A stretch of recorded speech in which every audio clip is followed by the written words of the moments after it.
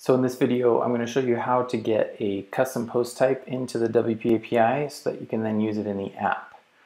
So for example, I have a page here that shows an Events Calendar Pro event in an API list. And if I click into it, it gives you more details. And the uh, I haven't messed with the look or the layout or anything, so it's a little clunky, but uh, this is just basically how to get it into the API so you can work with it. So if you were to uh, just activate, let me just get rid of this real quick. If you were to just activate the Events Calendar Pro plugin and then you go to the API, you'll see that the events is not there. Um, tribe events or events, no matter what slug you use, it's not there. They actually have their own API, but we're not using that for our purposes here because it's not the right format. Um, the goal here is to get any custom post type into the API. So how you do that is this code right here, which you can find in the REST API developer documentation, or I have a gist on GitHub. And what you do is you just hook into this register post type filter. You use the post type slug, and then you change the show in rest argument to true. Um, in our case, we also changed the REST base, which is basically the last part of the slug that you for the API endpoint. And we change the controller class to REST post controller um, this is the default actually, but in this case, um, we needed it there so that it's the right format. So um, the only line you really need is this one right here, uh, but we use these ones are optional.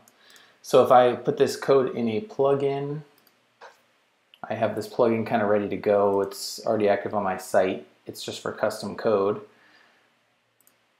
Then when I go to the API, uh, oops, I made the slug tribe events then you'll see that I, my event actually shows up here in the API. And you need to make sure that you have published events that are in the future um, for them to show up here. Past events will not show up for this particular, in this particular case. Uh, but for all, for all other um, uh, custom post types, you know, the date doesn't matter. They'll all show up as long as they're published. So now that I have that, I can go into my app and I can choose an API list or an uh, HTML page and use the uh, list component and put my route there. And then when I save that and rebuild, you'll see that I have a list here. And obviously you can customize the way that this looks and add featured images and event dates on the list, description, and, and everything like that. Um, but this is basically how to get it in there. Now, if you were to, if you wanted to use a different post type slug, for example, the maybe your post type is um, you know, like a sermon, you use the slug of the post type, so whatever it is, and then you change it to uh, show in rest. So you don't need those other two. If this was all I wanted to do, then that would that would work. Um, I can also, you know, write this code so it puts multiple post types in there, obviously.